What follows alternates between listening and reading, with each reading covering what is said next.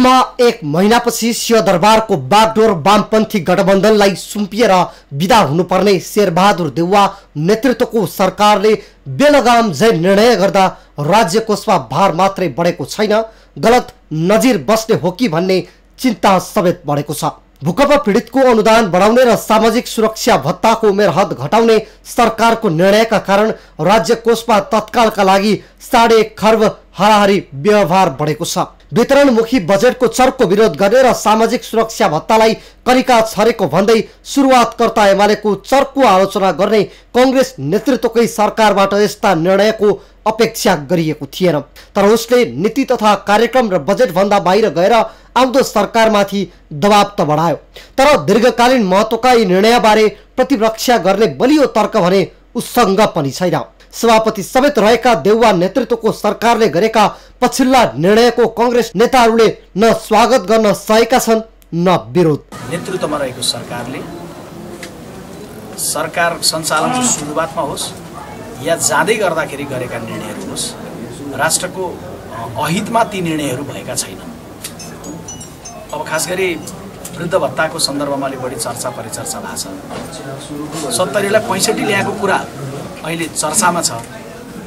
तर पचहत्तरलाई सुरुमा नेकपा एमाले एकाउन्न सालमा वृद्ध भत्ताको कार्यक्रम लिएर आउँदै गर्दा पचहत्तर वर्षको उमेरलाई निर्धारण गरेको कुरालाई सत्तरीमा ल्याउने पनि नेपाली कङ्ग्रेस नै थियो सरकारको नेतृत्व गर्ने निश्चित भएको एमाले मात्रै अहिलेसम्म वर्तमान सरकारका पछिल्ला निर्णयको विरोध गरेको छ। देउवा नेतृत्वको सरकारबाट भर्खरै विदा भएको र आउँदो सरकारको मुख्य हिस्सेदार माओवादी केन्द्रले पनि यसबारे मुख खोलेको छैन। छिट्टै देउवा सरकारका निर्णयको निरन्तरता वा खारेजीको पक्षमा निर्णय गर्नुपर्ने दायित्वमा पुग्ने माओवादी केन्द्र किन मौन भन्ने प्रश्न उठिरहँदा सो पार्टीका प्रवक्ता चाहिँ काम चलाउ सरकारले गरेका अनुचित निर्णयको दायित्व आउँदो सरकारले नलिने दावी गर्छिन्। सरकारको पनि एकदम सङ्घारमय सत्ता हस्तान्तरणको चरणमा पुगेको सरकारले एकदम थाहै पाँच वर्षको सरकारले गर्ने जस्ता जुन निर्णय गरेको छ यो बिल्कुल राजनीतिक अनैतिकता हो। यदि तिनलाई लागू गर्ने भने राष्ट्रको एउटा आर्थिक उसमा चाहिँ बडो नकारात्मक परिघटना पर्न सक्छ। अब हिजै एमालेका दलका नेता मतलब एमालेका अध्यक्षले बोली पनि सक्नु भएको छ। आउने सरकारले त्यसको पुनर्विचार गर्ने भनेर यो एकदमै दीर्घकालीन असर पर्ने कुनै पनि प्रकारको निर्णय नगर्नु भनेर पहिले पनि भन्ने थिएँ सरकारलाई। सरकार हस्तान्तरण गर्नका निम्ति जति आवश्यक पर्छ त्यो त्यसको मार्ग प्रशस्त गर्न त्योभन्दा अरू निर्णय नगर्नु भनेर पहिले नै नेकपा एमाले र हाम्रो पार्टीका शीर्ष नेताहरूले प्रधानमन्त्रीलाई भेटेर भन्नु पनि भएको थियो।